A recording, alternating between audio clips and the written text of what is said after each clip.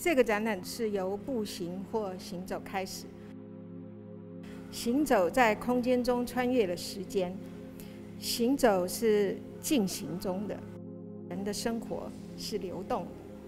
展览的流动性基本上是透过观众的心神、头脑与脚步并行来完成。概念从步行的形成需要两脚之间的距离才能行走，由此开始。Field 这个计划其实是今年呃方威这这个展览的委托制作，在夹缝中行走。那时候比较有感觉的是行走这块东西。我在田野的过程，我也开始去思考行走这件事情。我如何在这种身体力行一个动态的身体，呃，跟自然的一个身体感的交换，去创造这个呃行走的动能。我们习以为常的行走，既简单也不简单。距离有多大？距离大到令我们头痛的台湾海峡，小到事物之间的缝隙。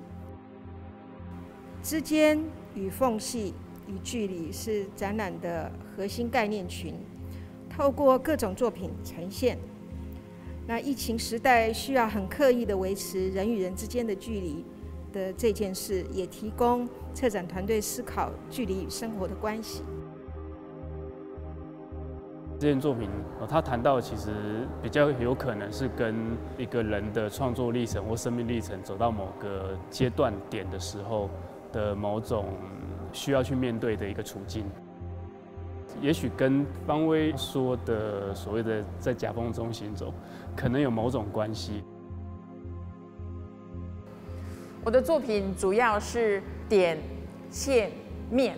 举步的时候，那是一个点。我的画线性很强，我的线跟线之间呢有很多缝，那刚好呢跟它的主题很切合。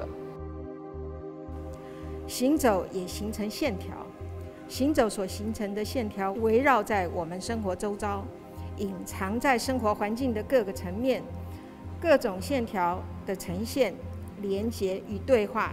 也是展览的重点。线条在展览的各种脉络与视线连接上都有布局，而夹缝的概念指向缝隙。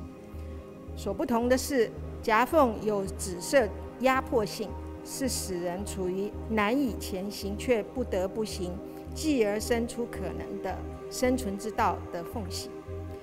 举凡。面对大资本主义底下的小经济，像摊贩、街友或战争出逃的难民等等，都可以视为是夹缝中努力前行或向后行走的现实与现象。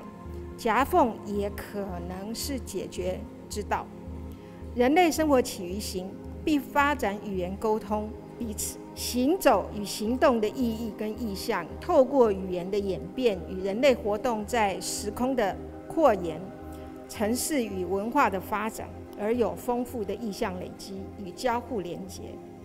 展览另外一个较大的重点方向是行走所延伸的线性与文字叙述所造成的线性的探讨。